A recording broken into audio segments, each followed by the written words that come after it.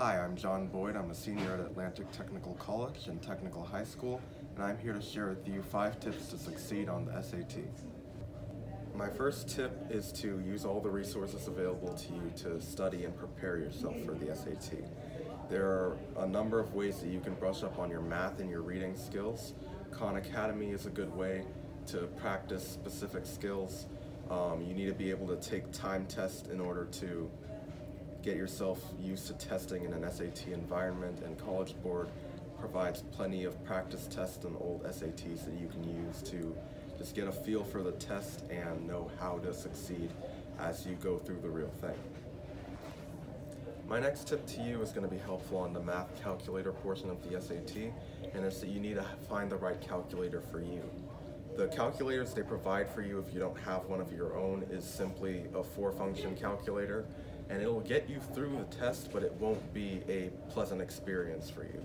So you want to find a calculator that has as much functionality as possible but at the same time it needs to be an approved calculator as well as a calculator that you're comfortable with because if you're not comfortable with it then it's not going to be any more useful to you than a four function.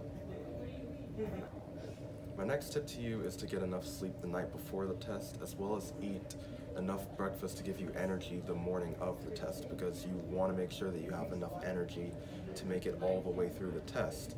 I know a lot of us don't get the time to sleep properly or to eat properly as teenagers, but it's important that you do it on this day particularly because it's a long test and you want to make sure that you're not falling asleep or losing your concentration in the middle of that test.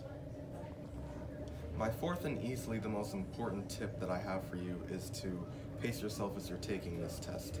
And this is going to be the hardest part of possibly the whole exam because you want to take as much time as possible on the hard questions, but at the same time you have to remember you have other questions that you have to do in a timed environment and you don't want to run out of time to answer those questions. So when you encounter a hard question, don't be afraid to skip it, bubble in a letter, and say you'll come back to it later.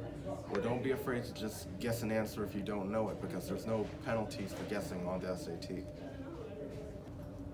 My final tip to you is not to be afraid to take the SAT more than once.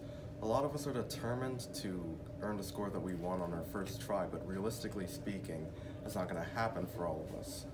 But that's why colleges and scholarship committees oftentimes super score. They'll take your highest reading and your highest math and combine them to give you your best score possible. And this super score is the reason why you don't want to be ashamed to have to take this test more than once. Um, the first time I took it, I wanted to get a high score, but I didn't do as well as I would have wanted. And then I took it a few times over and I have my super score of 1380. These have been my five tips to do well on the SAT. I hope that they were useful to everyone. Make sure to prepare as much as you can for the SAT and good luck to all of you.